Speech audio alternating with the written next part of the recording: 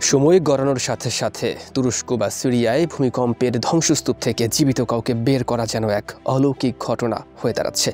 এক্ষেত্রে প্রশিক্ষণপ্রাপ্ত কুকুরের সহায়তা নেওয়া হচ্ছে। তবে ভবিষ্যতে উদ্ধার কাজে রোবট ও মানবিক সহায়তার জন্য ড্রোন ব্যবহার করা হতে পারে বলে মনে করেন বিশেষজ্ঞরা।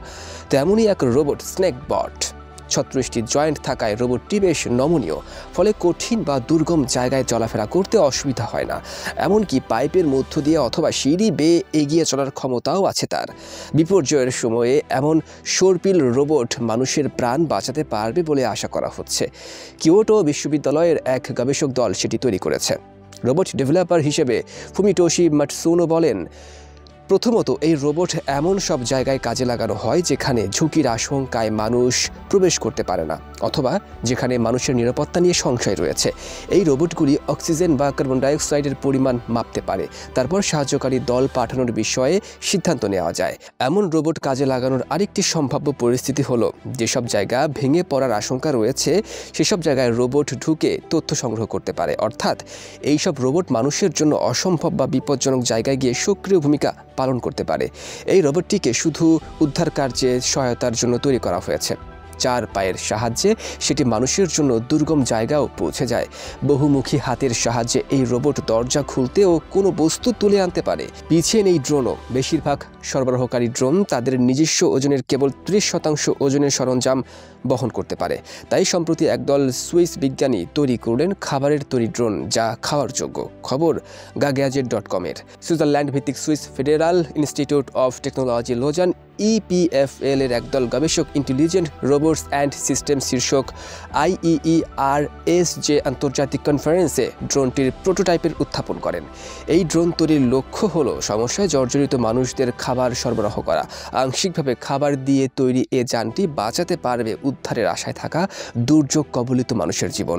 ড্রোনের প্রোটোটাইপটির আছে ভাতের ওয়েফার দিয়ে তৈরি ভোজ্য পাখা যা একজন মানুষের সকালের নাস্তার চাহিদা মেটাতে পারবে। এ পাখাগুলো মৌচাক আকৃতি অনুযায়ী কেটে জোড়া লাগানো হয় জেলাটিন দিয়ে।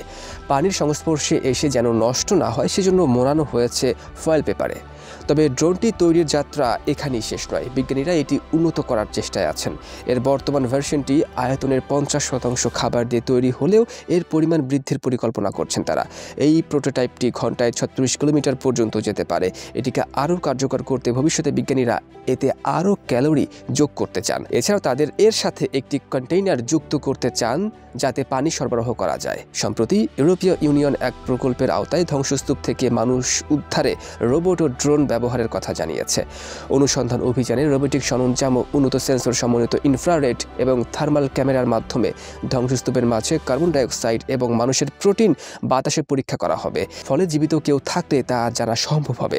এরপর উদ্ধারকারীরা লাউড স্পিকার এবং মাইক্রোফোনের সাহায্যে সম্ভাব্য বেঁচে থাকা ব্যক্তিদের সাথে যোগাযোগের চেষ্টা করবেন।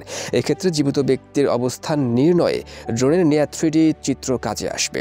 জীবিতদের অনুসন্ধান উদ্ধারকারী দলের জন্য অত্যন্ত বিপজ্জনক, বলেছেন কম্পিউটার বিজ্ঞানী ও জাইল্যান্ড Palatinate technical university of Kaiserslautern লান্ডাউয়ের robotic system চেয়ারের প্রধান কাস্ট্রেন বার্নস। বার্নস রোবট ভূমিকম্পে উদ্ধারের ক্ষেত্রে বিশেষজ্ঞ। দু হাজার ষোলো সালে তার দল ইইউ এর একটি প্রকল্পের সাথে জড়িত ছিল। তার মতে, বৃহৎ আকারের রোবট আটকে পড়া মানুষদের ত্রাণ পৌঁছে দেওয়া ছাড়াও ভেঙে পড়া ভবনের বড় অংশ বিশেষ সরিয়ে ফেলতে সক্ষম।